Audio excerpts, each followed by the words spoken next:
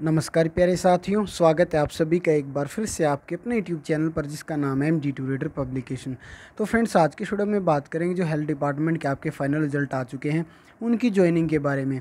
Advertisement पंद्रह दो हज़ार उन्नीस के तहत अलग अलग कैटेगरीज में आपकी स्टाफ नर्स की लैब अटेंडेंट की एम डब्ल्यू फीमेल की ओटीए की, और भी बहुत सारी वैकेंसी आई थी पहले तो आपने इनके फाइनल रिज़ल्ट के लिए प्रोटेस्ट किया बार बार कोशिश की फाइनल रिज़ल्ट आ गया तो आपकी ज्वाइनिंग यहाँ पर नहीं कराई जा रही है। तो आपकी ज्वाइनिंग को लेकर एक गुड न्यूज़ आ रही है, जो हेल्थ मिनिस्टर अनिल विज साहब जी, उन्होंने कुछ इसको लेकर बयान दिया है, कुछ अपडेट दी इस वीडियो में, उसी के बारे में बात करेंगे। अगर इंटरेस्टेड है वीडियो को देख सकते हैं।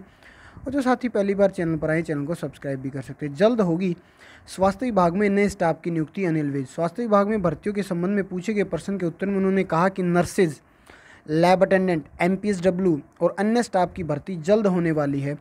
और उनकी नियुक्ति भी जल्द कर दी जाएगी। इसके अलावा उन्होंने कहा कि कुछ भर्ती प्रक्रियाएँ चल रही हैं और कुछ माननीय उच्च न्यायालय में स्टे इत्यादि की वजह से अटकी हुई हैं।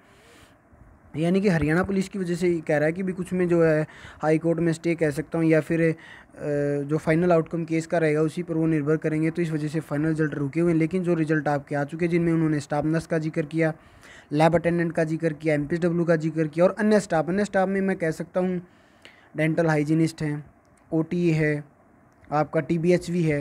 इनके फाइनल रिज़ल्ट आ चुके हैं। इनकी ज्वाइनिंग भी आपकी एक साथ ही होगी। कुछ में तो बायोमेट्रिक का प्रोसेस हो भी चुका है। ठीक है, और कुछ में होना बाकी है।